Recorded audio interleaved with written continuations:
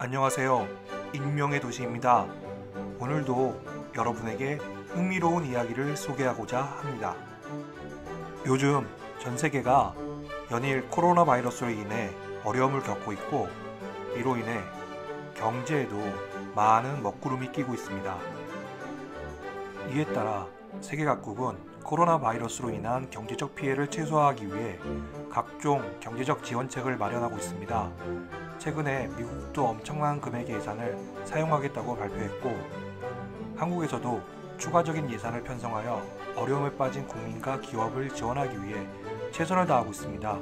예를 들어 1인 혹은 한 가구당 적정 금액을 설정하여 지원하는 방식을 사용하죠. 그런데 이것으로 충분할까요? 아님 더 필요한 것이 있지 않을까요?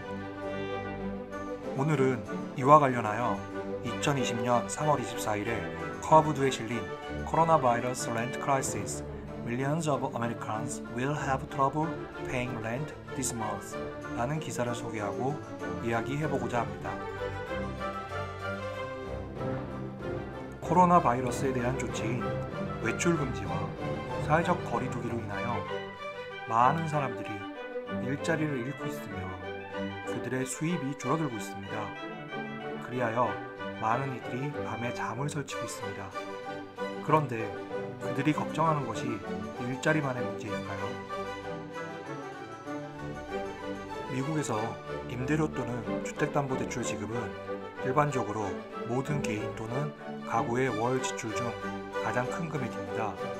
2017년 기준 미국 대도시에 거주하는 가구는 수입의 28.4%를 임대료로 지불하거나 17.5%를 주택담보대출금으로 지불하고 있습니다.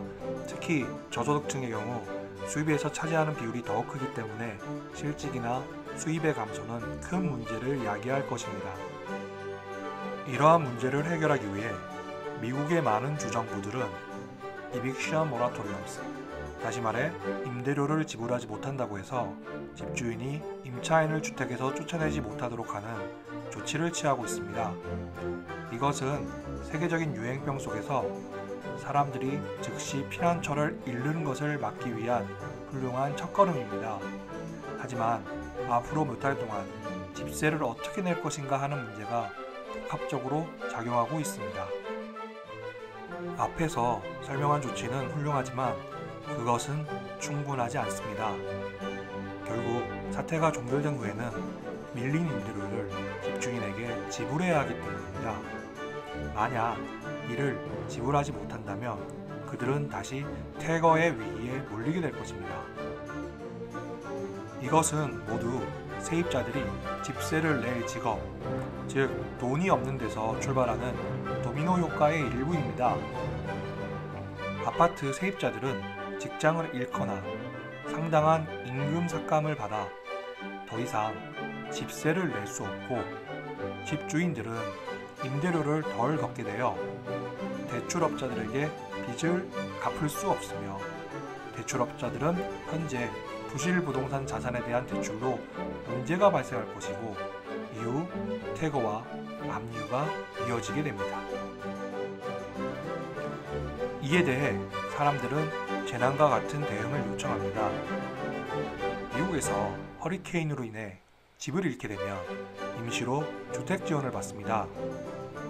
이와 같이 지금 당장 국가 차원에서도 같은 것이 필요합니다. 이미 시행하고 있는 이빅션 모라토리움과 함께 응급 임대료 보조 정책을 사용하는 것도 좋은 방법일 수 있습니다. 이번 사태는 많은 사람들의 주거권에 심각한 위협을 가하고 있습니다. 앞에서 언급한 것처럼 임대자가 돈을 벌지 못하면 그리고 집주인이 돈을 받지 못하면 도시는 수익을 얻지 못합니다. 또한 이 문제가 해결되지 못하면 2008년에 금융위기와 마찬가지로 대출 기관에도 피해를 주고 개인에게도 피해를 주게 될 것입니다. 따라서 누군가의 이해득실을 따지기보다는 사회 전체를 위해 정부 및 국민 모두 이 문제를 해결할 수 있도록 노력해야 합니다. 지금까지 시청해 주셔서 감사합니다. 이상 익명의 도시였습니다. 여러분의 구독과 좋아요는 컨텐츠 제작에 큰 도움이 됩니다.